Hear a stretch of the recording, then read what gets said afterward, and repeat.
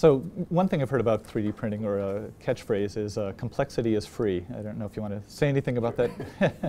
I think that's an interesting one. It's, uh, so what, what does that mean to you? So that to me means you can get as complex as you want with an object. Um, and you can go as crazy as you want. I've seen people do stools that were replicated seafoam because they could 3D print them, and there's no other way you could ever manufacture that. Now you can. And I think really what that means also is complexity is something that we could tend to put into something, and we tend to make things overcomplicated because now that we can. Uh -huh. And now is kind of the time where the wave hits the end, right? And you have to look back and say, again, you know, what's the best way to make this, and how do you make something that right. could be really complex, very simplistic, because now we have the technology to do it, and the design software is so easy.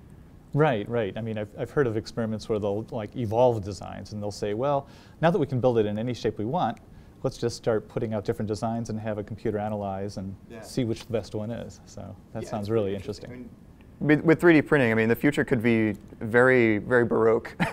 you could have your face on every single object in your house if you wanted to. Um, but that's one of those questions that keeps coming up is, yeah, um, is how do you scale that back and say, well, do I really need my face on a doorknob? Is that the best doorknob there is, you know, to be able to grab my head?